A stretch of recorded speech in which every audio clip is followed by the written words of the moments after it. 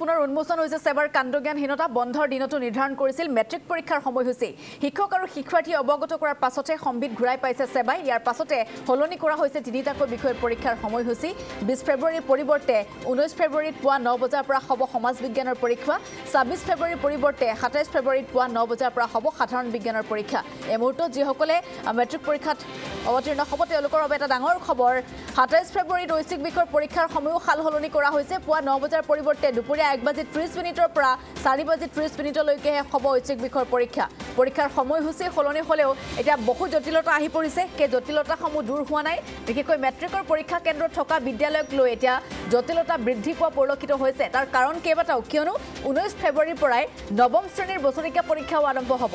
গতিকে সাতাইছ ফেব্ৰুৱাৰী পৰ্যন্ত চলিব নৱম শ্ৰেণীৰ বছৰেকীয়া পৰীক্ষা যাৰ ফলত মেট্ৰিকৰ পৰীক্ষা কেন্দ্ৰত থকা বিদ্যালয়ত এতিয়া জটিলতাৰ সৃষ্টি হ'ব। এই আশংকা কৰিছে ৰাজ্যৰ শিক্ষক সমাজে। আমি জনাইছোঁ প্ৰথমটো গুৰুত্বপূৰ্ণ খবৰ পুনৰ ছেবাৰ এই কাণ্ডজ্ঞানহীনতাক লৈ এতিয়া বিভিন্নজনে প্ৰতিক্ৰিয়া প্ৰকাশ কৰিছে। বিশেষকৈ যথেষ্ট অসুবিধাৰ সন্মুখীন হ'ব এতিয়া ৰাজ্যৰ শিক্ষক সমাজ।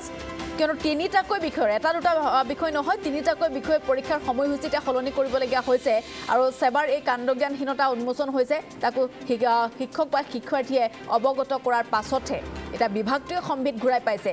যিকোনো এটা পৰীক্ষা অনুষ্ঠিত কৰিবলৈ গ'লে বিশেষকৈ দহটা বছৰত এটা গুৰুত্বপূৰ্ণ পৰীক্ষা সেৱাই অনুষ্ঠিত কৰে আৰু সেই পৰীক্ষাটোতে প্ৰতিবাৰতে এতিয়া খাম খেলিৰ সৃষ্টি হোৱা দেখিবলৈ পোৱা গৈছে আৰু এইবাবেই বিশেষকৈ সেৱাক বিভিন্ন সময়ত তোলা ধূনা দি আহিছে শিক্ষক সমাজে হওক বা সচেতন ব্যক্তিয়ে আৰু এতিয়া এনে এটা বিষয় অতিকে গুৰুত্বপূৰ্ণ এটা বিষয় এই মুহূৰ্তত আমাৰ হাতত আহি পৰিছে যে বন্ধৰ দিনতো মেট্ৰিক পৰীক্ষাৰ সময়সূচী নিৰ্ধাৰণ কৰিছিল আৰু সেই সময়সূচী ইতিমধ্যে প্ৰকাশ কৰিছিল। গতিকে শিক্ষাৰ্থীয়ে কি সময়সূচী দেখা পাইহে সেৱাক পুনৰবাৰ ওলোটাই এতিয়া জনাইছে আৰু ওলোটাই অৱগত কৰাৰ পাছতহে সেই সম্ভিতটো ঘূৰাই পাইছে এতিয়া বিভাগটোৱে। তাৰ পাছতে তিনিটাকৈ বিষয়ৰ সূচী সলনি কৰা হৈছে। সেই তিনিটা সূচী আমি পুনৰবাৰ জনাইছোঁ। বিছ ফেব্ৰুৱাৰীৰ পৰিৱৰ্তে এতিয়া ঊনৈছ ফেব্ৰুৱাৰীতহে সমাজ বিজ্ঞানৰ পৰীক্ষা হ'ব। প্ৰথম যিখন সূচী প্ৰকাশ পাইছিল ঊনৈছ তাৰিখে ন বজাৰ পৰা সমাজ বিজ্ঞানৰ পৰীক্ষা হোৱাৰ কথা আছিল বিছ ফেব্ৰুৱাৰীত হোৱাৰ কথা আছিল কিন্তু এতিয়া আগুৱাই দিয়া হৈছে এটা দিন। ঊনৈছ ফেব্ৰুৱাৰীলৈ লৈ অহা হৈছে ঊনৈছ ফেব্ৰুৱাৰীত ন বজাৰ পৰা সমাজ বিজ্ঞানৰ পৰীক্ষা অনুষ্ঠিত হ'ব। আৰু ছাব্বিছ ফেব্ৰুৱাৰীত যিহেতু দিয়া হৈছিল ছাব্বিছ ফেব্ৰুৱাৰীত সাধাৰণ বিজ্ঞানৰ পৰীক্ষা আছিল গতিকে ছাব্বিছ ফেব্ৰুৱাৰীত নহয় এটা দিন পিছুৱাই দি সাতাইছ ফেব্ৰুৱাৰীত পুৱা ন বজাৰ পৰা সাধাৰণ বিজ্ঞানৰ পৰীক্ষাৰ সূচী নতুনকৈ ইতিমধ্যে নিৰ্ধাৰণ কৰা হৈছে।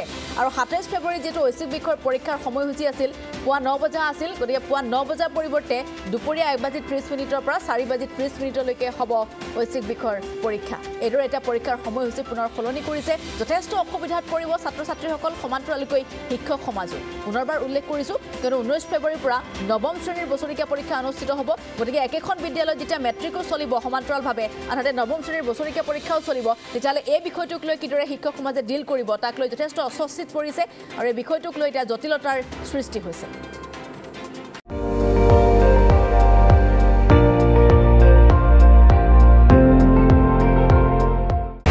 আপুনি চাই আছে এন ডি টুৱেণ্টি ফ'ৰ সৰ্বশ্ৰেষ্ঠ নহয় সৰ্বোত্তমৰ দৌৰা।